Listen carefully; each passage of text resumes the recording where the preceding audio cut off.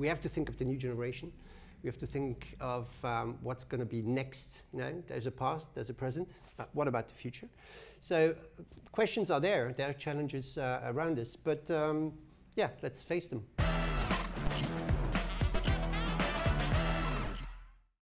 Despite our size, Luxembourg has been on the movie making landscape for quite a few years. Now, why is that exactly? Let's speak to one of the men who's behind the success of this sector. He's CEO of Tarantula and president of ULPA. He is Donato Rotunno. Donato, welcome. Hi, Jim. How are you doing? Fine. Happy to be here. Now, Donato, firstly, how long have you been in the business for?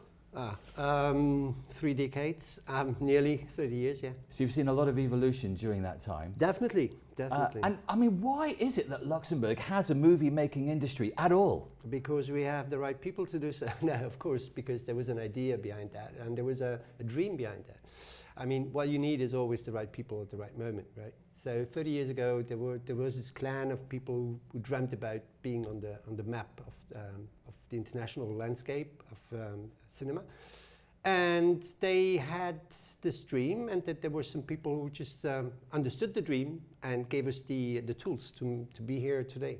Now, I know that you've won quite a few awards, haven't you, your films that you've worked on, but you didn't make Capitani, did you? No, I didn't, but I'm very happy for Christoph, so that's fine. You don't, you don't regret missing that? No, definitely not. We need people, and diversity is important, so everybody has to do what he feels the best so in, the in your recent history, which of your films that did really well do you think are you really proud about? Ah, that's quite difficult to, to say. But as a producer, I'm definitely very proud about um, uh, two of us, Deux, Filippo Meneghetti, where we ended up at the Golden Globes. Um, that was a couple of years ago. Or um, Todo lo que arde in Cannes, or last year Blanquita in Venice. I mean, there's a, there's a few. Uh, as a director, I would say Io sto bene, my latest uh, feature film, is uh, I'm very proud of that one, yeah. Is this a new sort of element in your career, becoming a director? No, no, it always started like that. It started actually as me being a director. And then somehow I got the virus and I liked producing other people who were even more talented, definitely more talented than I am. Um, and it's, it's really fun producing. I mean, it's a lot of work, but it is totally different from directing and it's uh, complementary. Now, how does all of this process start? You know the films. Is, do you have the idea behind some of these films, then you pitch it to the money mm. guys, mm. or you, have you got people pitching ideas to you? Everything's possible. Um, all depending on who you meet, when you meet them, um, what kind of topic is in the air. Uh, it can be a director coming up to us. It can be a producer. Mainly, it's a producer. You know, um, we know each other for a long time now. It's a small industry, basically. You know, the way we are working and functioning in Europe is, is, is quite a family clan. So people come up and say, "Oh, listen, you, I'm sure you're going to like this one." Absolutely. Um, you must get bored of that. Actually, you're sitting on a terrace having a quiet glass of white wine, and people say, "Hey, Donato, we should work together." Does that happen? It, yeah, that's one way of, uh, of uh, meeting people. One way of getting to the right. Um, um, uh, project. Um, that's why we, we have to travel, but that's why we have to be on markets. Yeah. Um, how would you say the Luxembourg sector is doing at the moment? It is doing quite well. I mean, we are successful. We had three films in Cannes this year. We there, there might be some really good stuff coming up for Locarno and Venice. Uh, um, it's it's going to be a good year. Um, although we have the same problems that uh, everybody's facing: uh, inflation, um, prices are rising. Um, we have to think of the new generation. We have to think of um, what's going to be next. You know, there's a past, there's a present. But what about the future? So questions are there. There are challenges uh, around us, but um, yeah, let's face them. So are you saying, would you like to see Luxembourg do more in terms of investing in our young people about becoming filmmakers in the future? That's definitely one of the, one of the things that we have to think about.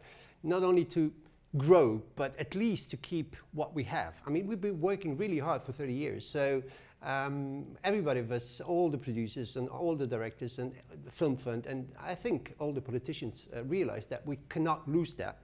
So what do we have to do? I mean, we have to think about it. We have to talk to people. We have to um, face the problems. Yeah. Now, I do remember you specifically. It's a decade ago. One particular movie, blah blah blah. I remember you in blah blah blah, dear Jim. Yes. Yeah. Great. What are your memories of that production? Um, a lot of languages, a lot of uh, different sounds in that in that doc- documentary. It was actually uh, three documentaries about the Grande Région, and we tried to establish or define what we call the La, la Grande Région. Uh, it worked very well. It actually went very well. Yeah. Now, of your films, uh, I know that they can sometimes get to Cannes, but there's always an issue of the financial side. Mm-hmm. Is that of big concern to you that they've really got to make money?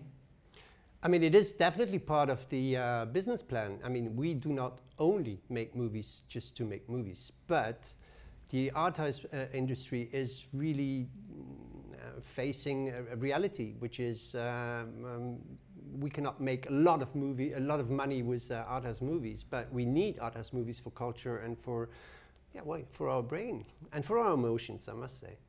I mean, which takes us to sort of a Netflix problem because so much of the big screen has moved on to the small Mm-hmm. screen. Has that made your job harder, do you think? Not harder, different. I mean, um, again, if there's a challenge, we have to face it.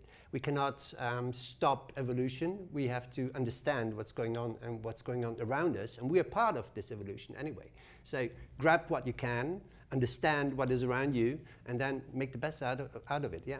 But is it part of your plan? I mean, we, I mean, I joked a little bit about Capitani, but would you also like to get a series on a small We're screen? working on series at, at, at the moment. We are starting uh, shooting in October. Um, yeah, platforms are part of the business now. Yeah. Well, that's interesting. Let's talk about the future. What kind of things have you got coming up in your schedule that you can talk about? Lo- well, loads, loads of movies in post production. Hopefully, um, good news for the next festivals coming up. Uh, we'll see.